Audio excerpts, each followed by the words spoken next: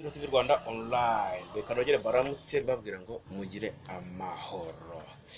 Maze iminsi hari inkuru nabagejejeho uyu witwa Kazungu Denis si uko ntakomeze kubacukumburira ahubwo maze iminsi ndimo bashakira mu by'ukuri. Kazungu bitebye. Yabitebye nta nubwo yitwa Denis nk'uko hari ikiganiro nabibabwiyemo hari amazina menshi yagiye yi- ariko naho nahuye n'abana biganye. Nivuga ngo abana biganye ni abantu biganye rero bamaze gukura. Hari manage umwe w'ahantu ntabwo ndi bumuvuge ndetse n'undi mudamu umwe biganye na kazungu neza neza muri pirimeri remera katolika bazi kwa rwahama ntabwo ari bo twaganiriye bonyine hari na n'undi muvandimwe nanone bose ntabwo amazina yabo. Bo noneho bafunganywe eh, mu kwezi kwa karindwi mo hagati aho ngaho muri makumyabiri gutyo bari bafunganywe kuri rib cyangwa se kuri polisi ya kanombe hano kabeza. Abo rero nibo naganiriye nabo bambwira tumwe ngiye kubabwira bazi eh, kuriya wise kazungu cyangwa se kazungu deni nk'uko ribu yasohoye ko ariko yitwa ariko twamenye ko ariya pe ntabwo ariyo mpereye najya eh, uriya mutipe biganye muri pirimeri yitwa teogene ntabwo ari deni biganye yitwa teogene irindi naryo gumva rasomyemo gakeya. Eh, bigaga rero aho remera katolike akantu yavuze ko katamutunguye cyane. Tungura kumva ko yicaga abantu.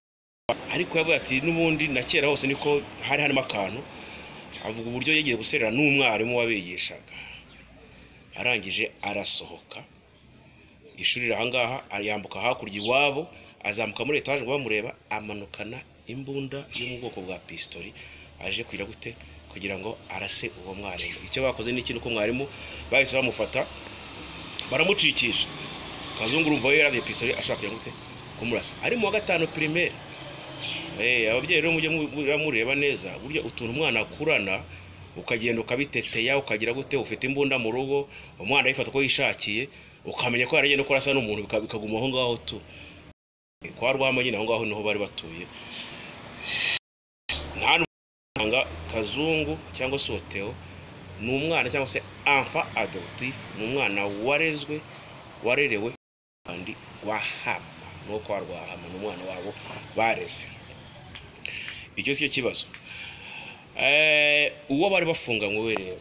Uwo bari bafunganywe nawe yatubwiye ko kuko uwo bari bafunganywe hari ibyo yaziraga nawe biri aho ngaho ariko agezemo ko byasabwe sinzi ko ariko byasabwe ariko ya- ya- yamazemo hafi ibyumweru bibiri yaje kugirwa konseye wa kasho. Urumva rero iyo uri konseye burya hari ukuntu uba wubashywemo gakeya.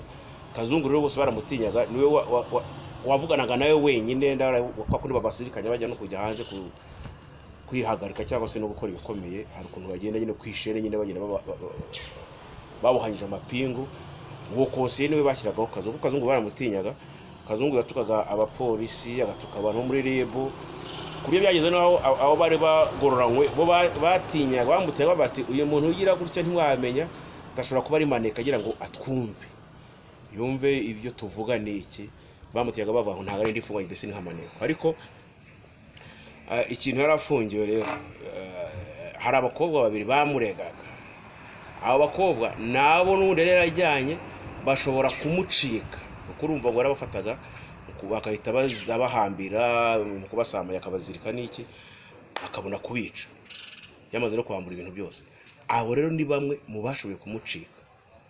Bamucitse rero kujya kurega. Buriya hari ikintu n'inzego zacu zigomba ku- kuzajya wenda zitaho. Burya hari abantu iyo uri vulnerable iyo uri vulnerable kuvuga ngo indaya kubera ko ari indaya ibyo ntibyumvikana ngo yari indaya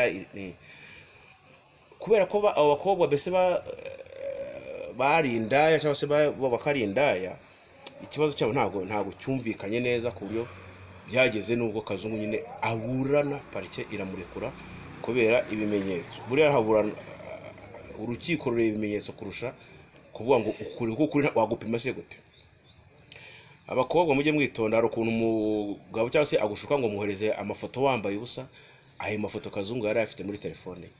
Akareka cati bagiranye ati nk'uwo mukobwa wowe twarandikiranaga unyiyereka wambaye ubusa ni iki? Ati nawe kandi ni kimwe wenda icyo muri kunziza ni uko mwumvise ko ngiye kurongora. Kazungu yari umubingwa yari afite na invitation y'ubukwe bwo mu kwezi kwa munani ku itariki ya makumyabiri na zingahe. Invitasiyo y'ubukwe ayifite avuga ati abakobwa ngiye ikintu bashaka kunyicira ubukwe nta kindi ubundi zari indaya zanjye akajya abereka nyine n'amashati bagiranaga. N'amafoto bamuga bambaye ubusa ati nta kindi ngewe ntabwo nigeze nshaka kubica. Ese naba mbica gute mu buhe buryo?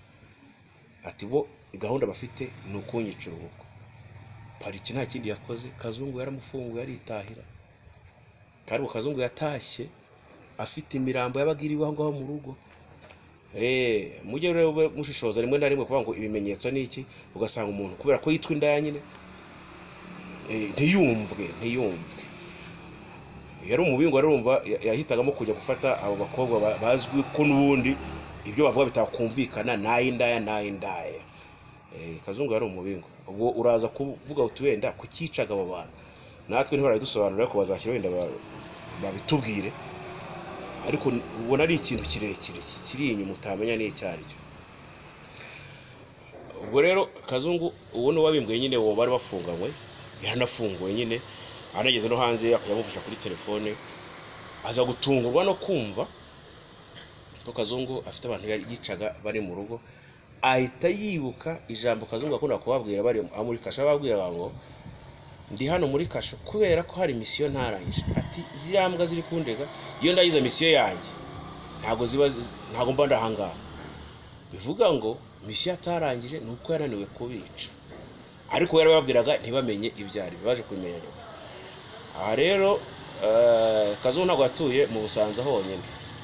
Yemwe naho bavuga yari atuye muri gishikiri hari n'ahandi yabanje muri busanza cyane niba ari rukore ahagana hino hari ahandi hantu hatuye numva ngo na za masaka yari atuye. Inzego zibishinzwe mushobora cyangwa se wenda munabirimo naho mugende muharebe. Muharebe ko mushobora gusanga wenda hari n'indi mibiri y'abandi bantu ashobora kuba yarishe. Kubera ko biratangaje biratangaje. Uriya mutipe twamenye ko nta nubwo ari n'injiji ni umuntu wize. Aniga n'ibintu abantu ubu bakeneye ubu ngubu. Eh, yize busikoloji kirinike ibi by'ubumenyi bwo mu mutwe. Kuba yaba ahubwo ari we wafasha abantu bafite ibibazo byo mu mutwe kuba bakira. Ahubwo ukabona ko ari ufite ikibazo cyo mu mutwe. Ushobora gusanga atari ikibazo afite cyo mu mutwe ahubwo abikora abizi. Hari n'utundi tuntu bivugwamo ko eh, bari abantu bagiye yica kuko ngo nta mitwe yabo aho bataburiye ko nta mitwe yabo yabonekaga.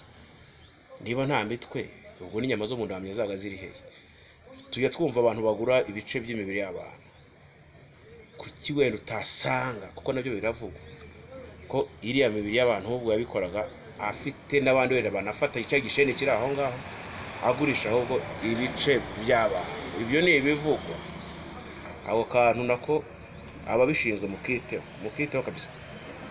Reka kazungu mureke ni ibintu ashaka ngo mbabwire ntabwo izina rye ari kazungu ntabwo ari deni amazina ntabwo azwi ariko abo muri pirimeri bazi nuko yitwa teonesite ntabwo arizi hari n'andi umuyobozi wa ushinzwe guhuza ibikorwa mu karere ka kicukiro yatubwiye nyine ngo bafite iby'amazina atandukanye. Eh, ariko mucukumbure mucukumbure kuko nawe ko nabibonaga muri ntuza muri filime.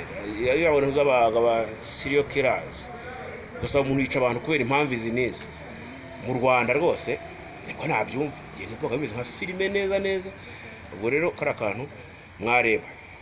Niba rwaba umutwe afite cyangwa se niba kiri kibyihishe inyuma harimo n'ibyo bivuga ko ashobora kuba n'iyo mibiri y'abantu ibice bimwe by'imibiri y'abantu yicaga yarabigurishaga ubwo na byo abanyarwanda bakazabibonaho. Igisubizo dore ko ubushize bari bagiye kumuzana hano aho yakoreye ibyaha tugategereza bakatubwira ko batakimuzanye kubera ko ngo ngo bakiri mu iperereza. Iperereza n'ibikorwa rirangire ubundi tumenye mu by'ukuri uriya muntu ibya bintu ni ibiki? Ntabwo bibaho ntabwo bibaho. Reka rero soze mbabwira ngo turabakunda cyane nzajya mbacukumbura izo nkuru kimwe n'izindi mbaha z'ubwenge. Hari ibanga ry'ubuzima hari za bigomba guhinduka hari ni- ni byinshi biri kuri Ntubo TV Rwanda online. Eh, ikindi babwira niba ushaka kwamamaza niba ushaka kwamamaza turabigukorera wahamagara kuri zeru karindwi makumyabiri itandatu na rimwe magana cyenda na cumi na gatandatu zeru karindwi umunani itandatu na rimwe zeru karindwi umunani makumyabiri itandatu na rimwe magana cyenda na cumi na gatandatu. Utuye mu busanza ushaka no guso- gusohokera manuka hepfo nyine ntabwo aho hafi yo twavuga kwa bakazungu aho ngaho hari aberewe nababwiye bati kare kare hati kazungu azatwica. Kazungu nta ari mu maboko ya polisi nimugire ikibazo. Ari ahantu hitwa kuri switi garden. Switi garden ndabibabwira hari jaride nziza cyane ushobora gukoreramo ibirori ibyo ari byo byose. Kuva ku biro by'abantu ijana kugera no ku bantu ibihumbi bibiri tubafitiyemo ibyumba byiza ibyumba byo kuruhukiramo amashambure harimo amashambure harimo igikoni cyiza bafite inteko zitandukanye kabisa inyotse uko washaka kose inyama z'ubwoko bwose niba ubwoko bwose ubwoko bwose Eh, inzoga zo ni ibisanzwe mbese muri Sweet Garden ni ho hantu mu Busanza. Mu cyangwa muri Kanombe Nyarugunga Kabeza n'iki ni ho hantu wasohokera n'abawe. Abantu mukora siporo nababwira iki munyarukire kuri Sweet Garden kugira ngo mufate ka recuperation na wapenda tro Nzeyimana Evode Nzevo subscribe like and share. Ciao ciao.